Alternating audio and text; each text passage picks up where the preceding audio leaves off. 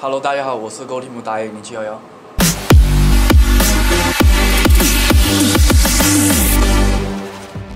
Qua Rip League Asia mùa thứ nhất đã dần đi đến hồi kết.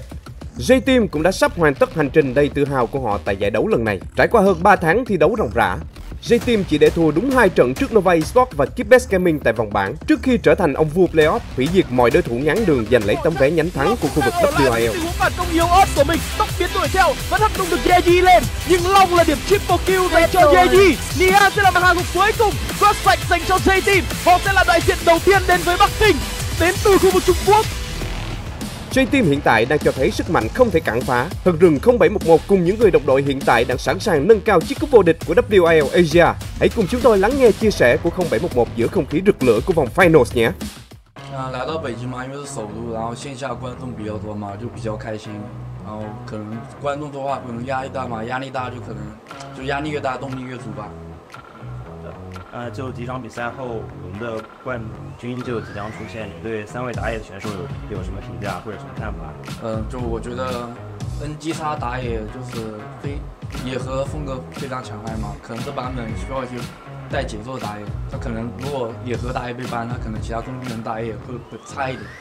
嗯，KT 的打野就比较看场比的就是那，因为他们基本上都是打野在哪里就往哪边奔去打嘛，就你不让打野，如果就比赛中招对面打野的位置，对面就应该做不了事情。然后 KPG 打野的话，因为国内打的比较多嘛，就是也是比较一位有明星的选手嘛，还有明星，感觉打他应该是压力最大的。